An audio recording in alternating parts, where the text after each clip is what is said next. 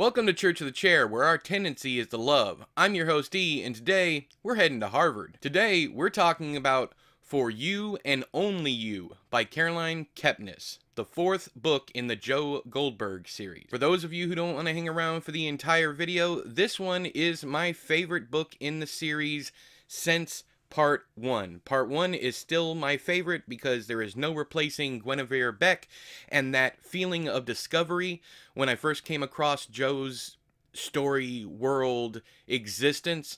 But this is very much a different type of Joe Goldberg story. It still has the same setup, the same formula, but it is a very different Joe. He grew quite a bit in the last book, and in this book, he grows a little bit more. That is not to say that he doesn't get terrifying at one point, because by the end, I was having. I, I, I was having some fear built up for one of the characters and also just the the coldness emanating off of him.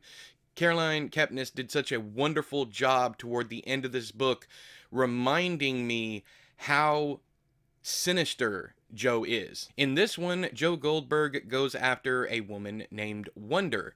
And Wonder, right off the bat, I connected with her very quickly because she is what Joe calls a Goodreads girl. So she reviews books on Goodreads, while at the same time, she is an aspiring author. If you don't know, I'm an author as well, and I spent a lot of time in my early career reviewing others other people's books to try and gain a following. As of right now, this book has a very iffy rating average over on Goodreads and we have funny things like this comment that say that Joe that this book is absolutely nothing like any of the other ones in the worst way and then you have comments like this that say it's the same old, same old, which I find funny, and I think I know why. This is not to say that these people are lying or that they don't mean what they say, but I'm going to point out some things from the book that might have turned some people off. Joe goes hard after Goodreads and the toxicity on that platform.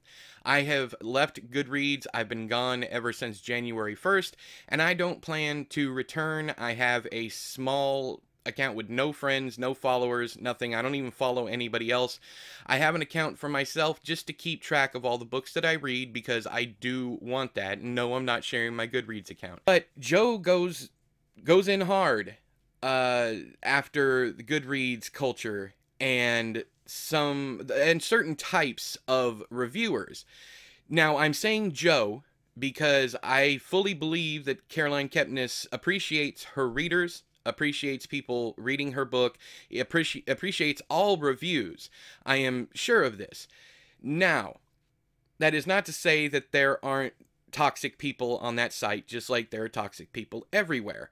And that's what Joe is talking about.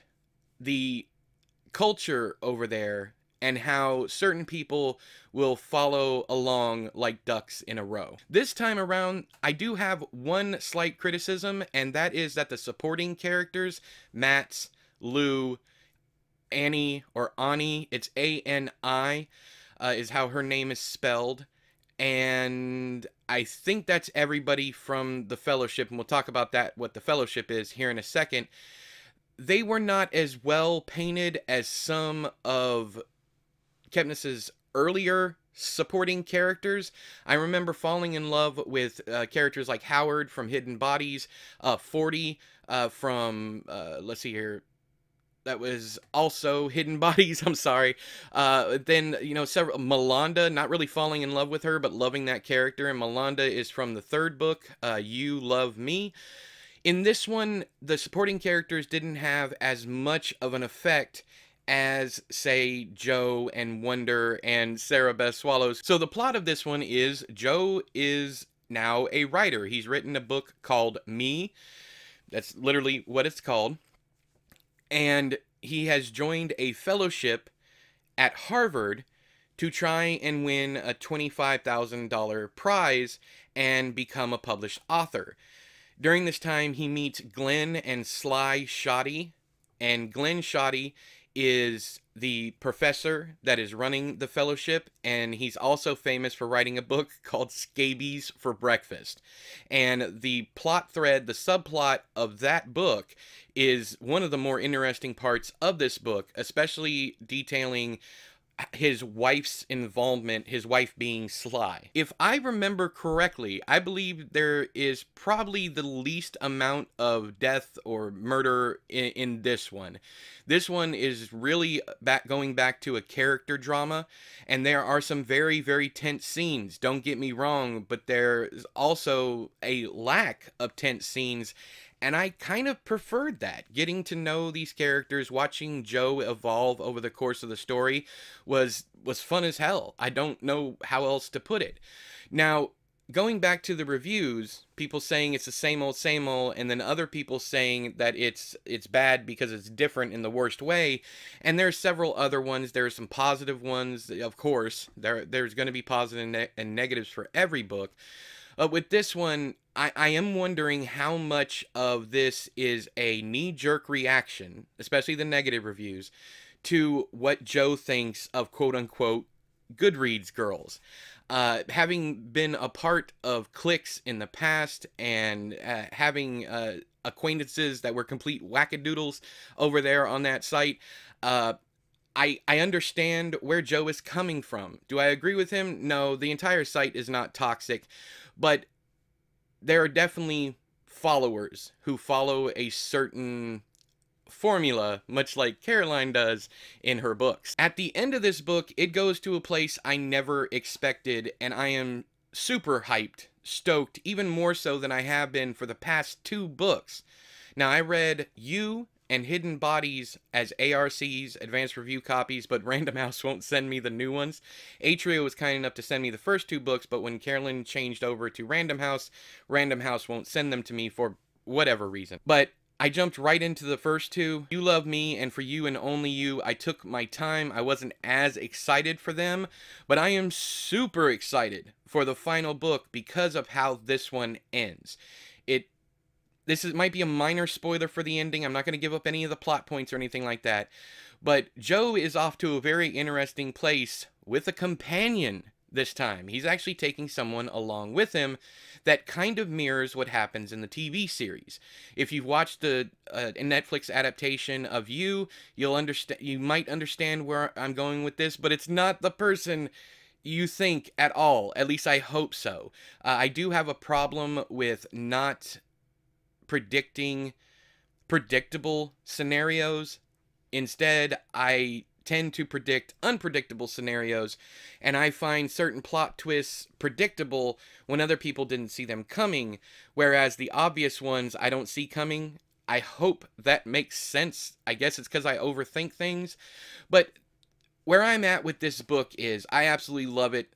It's my favorite one since the first one in the series. I really loved all the Goodreads stuff. I, I loved the picking, the uh, the the playfulness of those sections, and I especially loved how dark and sinister Joe gets by the end of this book. Which brings me to the fact that I read it to my wife. Um, I've read the last two books to her over the course. This one took us about a month. The last one took about a month and a half because we only read about 20, 25 pages a night, and we don't read every single night. But one thing that I picked up on this one is I was always excited to get back into it, and I was actually upset any of the times that she was busy or I was too busy to get back into it. I don't remember that feeling with You Love Me, which is the third book in the series. I do remember enjoying it a lot. I gave it five stars, but now I'm thinking that I should bump that one down to four stars and, you know, keep this one at five. I don't know. I probably won't change anything. Given that I'm not publicly on Goodreads, I'm not public on Goodreads anymore, I probably won't do anything.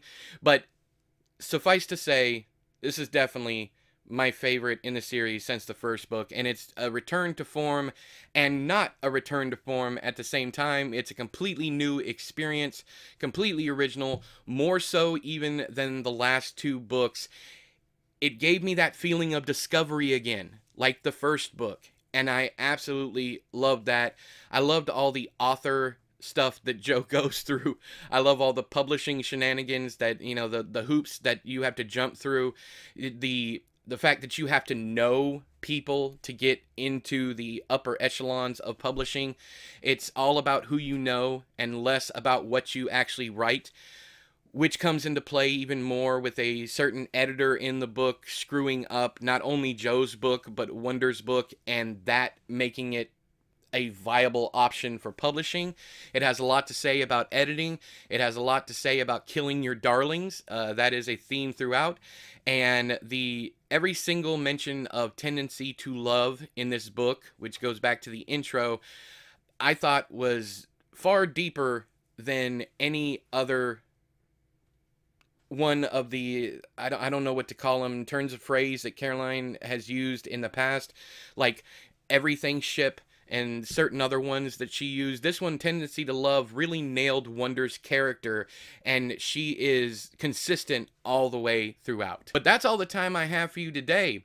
If you have read this book, For You and Only You by Caroline Kepnes, or if you've read any of the You series, let me know what you thought of them down there in the comments section. If you did not like this one, I'd like to hear from you. I'd like to hear why. Just remain respectful, I guess I would say. But until next time. Hello, Christ. I'm about to sin again. Said I love you to the boy, but I'm not feeling him. I love that song. All hail the chair.